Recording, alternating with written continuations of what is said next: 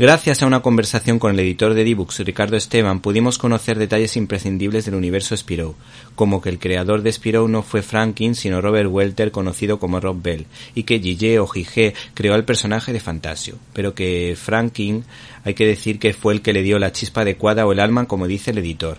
A Franklin lo recordamos por haber creado a Gastón el Gafe y a Marsupilami.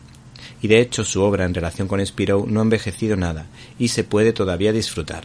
A mí particularmente me encantó la intrigante y divertida La Máscara, también editada en D-Books, lo que me da pie a recomendar este integral, el integral de Franklin, de Spirou y Fantasio, mm, de 1946 a 1950, que permite conocer la evolución del autor en tan solo cuatro años. Y es que el propósito de la editorial D-Books es que podamos disfrutar poco a poco y año a año de la colección completa del mítico personaje.